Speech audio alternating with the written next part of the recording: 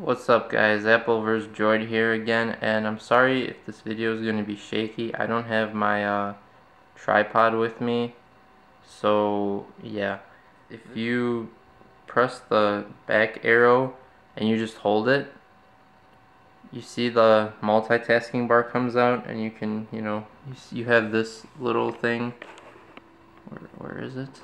That, that, that drags out um, some on some of the phones this comes standard that thing or some of them you have to activate it. So if you actually have to activate it go to your settings uh, go to my device display and then multi-window make sure it's enabled. And if it is then you can just hold the back arrow and it'll appear. Or if you want if you want it to disappear you just hold it and it'll disappear and there won't be a little arrow key pointing from the side there.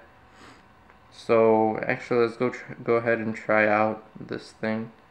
Let's open up the internet and also YouTube. So there you go, it works.